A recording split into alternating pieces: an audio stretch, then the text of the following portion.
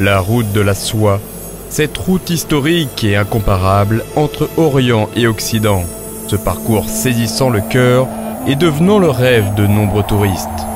À l'époque de sa prospérité, des caravanes partaient de l'ancienne capitale chinoise de Chang'an et franchissaient le corridor de Heshi, traversant les montagnes pour atteindre l'Europe.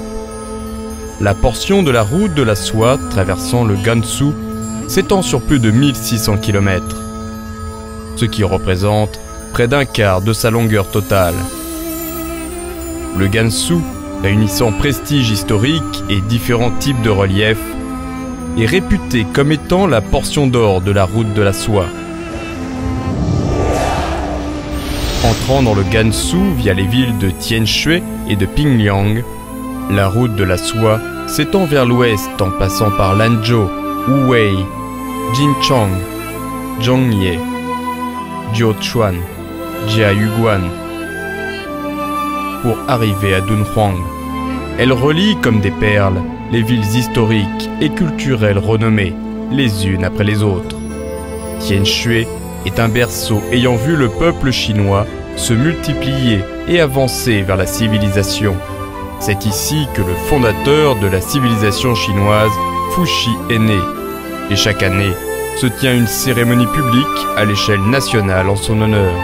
Au sommet de la montagne Maiji, ressemblant à un tas de blé, se trouvent plus de 7000 sculptures des différentes dynasties chinoises, permettant aux touristes de découvrir entièrement l'histoire de l'art bouddhiste chinois et les plus merveilleuses statues de Chine. La montagne Kongtong de la ville de Pingliang est réputée comme étant la première montagne du taoïsme au monde. La légende dit que l'empereur Xuanyuan y a demandé conseil à Guangchengzi, un ancêtre du taoïsme, pour qu'il lui apprenne l'art de gouverner un État et les techniques de maintien de la santé. Lanzhou est le seul chef-lieu provincial traversé par le fleuve jaune. Le plus marquant ici pour les touristes, c'est ce délice que sont les nouilles au bœuf. Les nouilles au bœuf, l'opéra Xinjiang, l'ancienne route à eau et les radeaux en peau de mouton constituent une peinture particulière des coutumes folkloriques de cette ville. Le fleuve jaune, qui puise son origine dans le Qinghai et prend forme dans le Gansu, coule ici sur une longueur de 913 km et sculpte des paysages de différentes formes d'une extrême ingéniosité.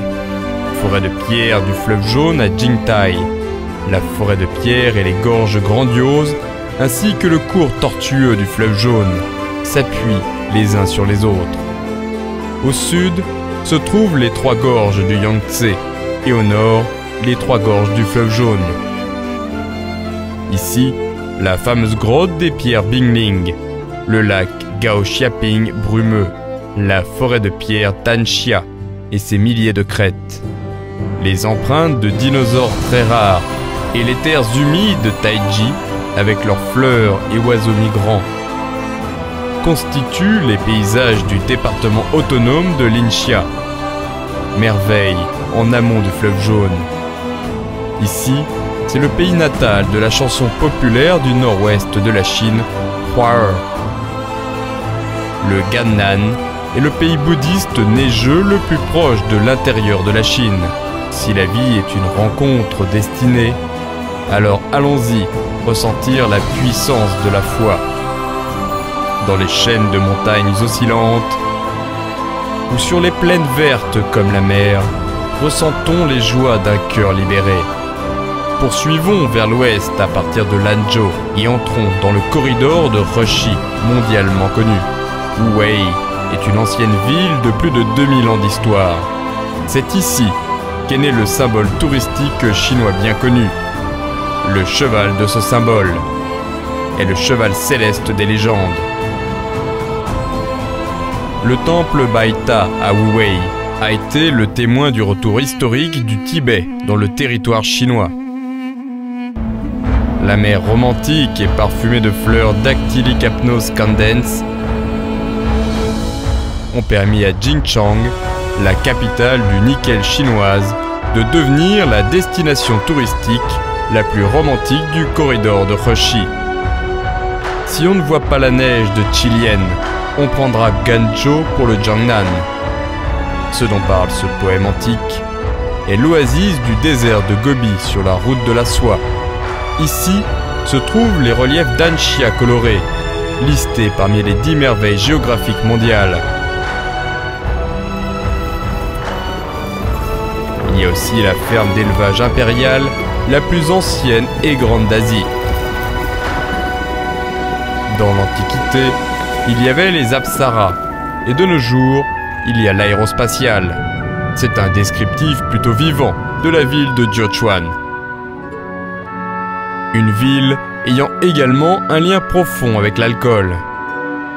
Le général Ho Chubing, sous la dynastie des Han, a grandement versé dans la fontaine de l'alcool cédé par l'empereur.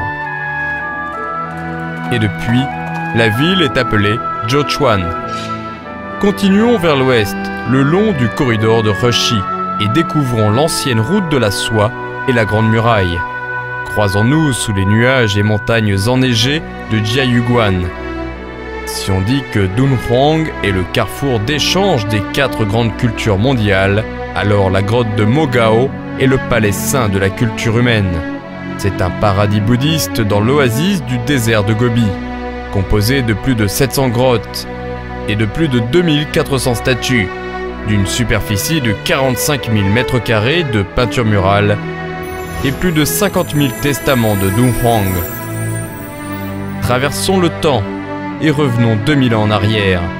Ici, chaque brique de la dynastie des Qin et tuile de la dynastie des Han, chaque passe et tour de vigie nous permettent de communier avec l'histoire.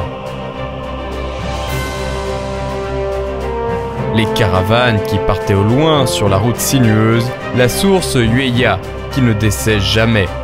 Le relief Yartang, magique et grandiose, secoue notre cœur. Le voyage difficile d'autrefois sur la route de la soie est devenu une mémoire d'hier.